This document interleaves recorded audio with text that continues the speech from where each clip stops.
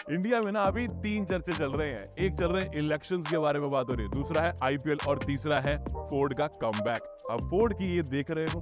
The Ford Everest, जो कि Endeavour के नाम से इंडियन मार्केट में आएगी, जो इसका प्लेटिनम वेरिएंट है। This is the top variant है यहाँ पर आपको सारे फीचर्स मिल जाते हैं। और अगर आप फॉर्च्यूनर लेने का प्लान कर रहे हो, या एमजी ग्लोस्टर या इस सेगमेंट की कोई और गाड़ी तो थोड़ा सा रुक जाओ। और आप पक्का मेरे को बोलोगे कि हाँ यार अच्छा किया, रुक गए। अब बात कर लेते हैं इसके नए लुक्स और नए फीचर्स की। तो सबसे पहले तो आप इसकी नई प्रोमिनेंट ग्रिल देख पाओगे, जहाँ पर आपको प्रॉपर क्रोम की फिनिशिंग मिल जाती है फोर्ड का बड़ा सारा लोगो मिल जाता है प्लेटिनम बैजिंग इस तरफ़ मिल जाएगी, और साथ में आपको स्किड भी ऑब्वियसली मल्टी कलर मिलेंगे बट इंटरेस्टिंग क्या है, वो है 360 डिग्री कैमरा वो भी विद वॉशर ये भी आपको यहाँ पर मिलता है बिकॉज़ इसे आप ऑफ़ रोडिंग पे लेके जाओगे तो थोड़ी गंदी तो हो ही सकती है तो उसके लिए वॉशर भी ज़रूरी है तो फ्रंट कैमरा को क्लीन करने के लिए वॉशर भी इंटीग्रेटेड प्रोवाइडेड है फ्रंट पार्किंग सेंसर्स आपको मिल जाते हैं, और एक, दो, तीन, चार, और अगर आप और साइड पे देखेंगे तो पाँच और छठा यानी कि छह छह फ्रंट पार्किंग सेंसर्स भी नज़र आ जाते हैं। Projector high performance matrix LED lights आपको मिल जाती है लुक्स वेरी वेरी गुड यहाँ पर आपको कॉर्निंग लैंप्स के साथ साथ प्रॉपर एलईडी डीआरएल्स भी मिलेंगे। प्रोजेक्टर आपको फॉग लैंप्स मिल जाते हैं अगेन एलईडीज में क्रोम सराउंडिंग्स के साथ। ग्रिल ही है जो मेजर इसकी ज़्यादा प्रोमिनेंट लगती है और कहना कि ये जो डिज़ाइन दिया गया ना फोर्ड के लोगों के साथ, गाड़ी ऑलरेडी इतनी बड़ी है और ज़्यादा बड़ी लगने लग जाती है। ग्राउंड क्लियरेंस ज़रूर आपको अच्छी मिल जाती है एसयूवी वाली। बट अगेन थोड़ा सा मुझे लगता है कि कंफर्ट वाइज सस्पेंशन अच्छी है। स्पेस कंफर्ट में थोड़ी सी कम हो जाती है। साइड वेज सबसे ज़्यादा इंटरेस्टिंग आते हैं इसके व्हील्स लॉय व्हील्स 21 इंचेस की तरफ़ गुड ईयर की तरफ़ से आपको मिल जाते हैं। एग्जैक्ट सेक्शन की अगर मैं बात करूँ तो यहाँ पर लिखा गया है 275 45 R21 नाउ दैट्स ह्यूज साथ में मिल जाते हैं आपको फैक्ट्री फिटेड आपको प्रॉपर साइड स्टेप जो कि सिल्वर फिनिशिंग के साथ आते हैं प्लेटिनम की बैजिंग है। काफ़ी बड़ा चंकर इसका डोर जो है फ्रेम मिल जाता है, चाहे फ्रंट हो, चाहे रियर हो। और वी M electrical adjustable 360 degree camera का कैमरा इस तरफ़ आपको आई थिंक एलईडी नहीं है these are halogen chrome finishing chrome building ऊपर भी, नीचे भी, और ऊपर आपको रूफ रेल्स भी है, वो भी आपको क्रोम के ही मिलते हैं। अब बारी आती है रियल डिज़ाइन की। यहाँ पर दो तीन चीज़ें बड़ी अटपटी लग सकती है, जैसे कि इसका एंटीना वो शार्क फिन नहीं है, वो माइक्रो एंटीना है। बट इंटरेस्टिंगली आप देखोगे इसके defogger wiper washer high stop lamp थोड़ा छोटा वॉशर इस तरह मिल जाता है। फोर्ड की बड़ी सारी बैजिंग है प्लेटिनम यहाँ पर लिखा गया अगर इंडियन में जब आएगी तो यहाँ पर इंडेवर लिखा जाएगा, जिसको ग्लास के अंदर, यानी कि जो अक्रेलिक है ग्लास नहीं आएगी अक्रेलिक के अंदर रखा जाएगा और साथ में आपको एलईडी आपको टेल लैंप मिल जाते हैं, जो कि मुझे कहीं ना कहीं फोर्ड मुस्टैंग की याद दिला रहे हैं। इसके साथ साथ थ्री सिक्सटी कैमरा का रियर कैमरा ना भी हो, किसी और वेरियंट में आपको एज अ रियर कैमरे का काम करेगा। प्रॉपर आपको फिनिशिंग यहाँ मिल जाती है, जो कि आपको बचा के रखती है आपकी गाड़ी को आपके लगेज से। नीचे भी आपको रिवर्स पार्किंग सेंसर्स भी मिल जाएँगे एवरेस्ट की बैजिंग जो कि इंडेवर की बैजिंग हो जाएगी। चलिए अब इस गाड़ी का इंटीरियर भी डिस्कस कर लेते हैं। सबसे पहले तो आपका स्वागत किया जाता है इसके 12.4 इंचेस की डिजिटल क्लस्टर से, जो कि इतना क्रिस्प एंड क्लियर फोर का डिस्प्ले लग रही है पूरी की पूरी। एंड कमाल का ही आपको सारा एल्गोरिदम मिल जाता है यहाँ पर बिकॉज़ इन्फॉर्मेशन के साथ साथ आपके पास हमेशा हर एक चीज़ अवेलेबल रहती है। जो भी आपको चाहिए आपको स्क्रीन पे नज़र आ जाएगी।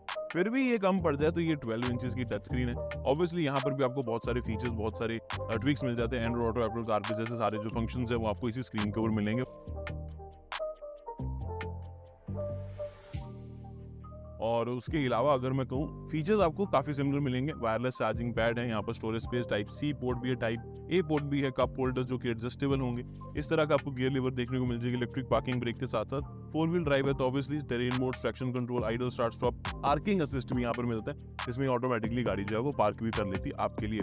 सारे फोर व्हील के ऑप्शंस ड्राइव मोड से यहाँ पर देखने को मिलेंगे और फीचर्स वाइज में एसी के कंट्रोल्स यहाँ। अब ये चीज़ मुझे पर्सनली बहुत अच्छी लगी कि स्क्रीन तो चलो बड़ी दी है इन्होंने बट उसके साथ साथ आपको प्रॉपर एसी के कंट्रोल्स के बटन मिलते हैं। सेफ्टी की बात करें तो ऑब्वियसली बेसिक सेफ्टी फीचर्स तो सारे मिलेंगे ही मिलेंगे।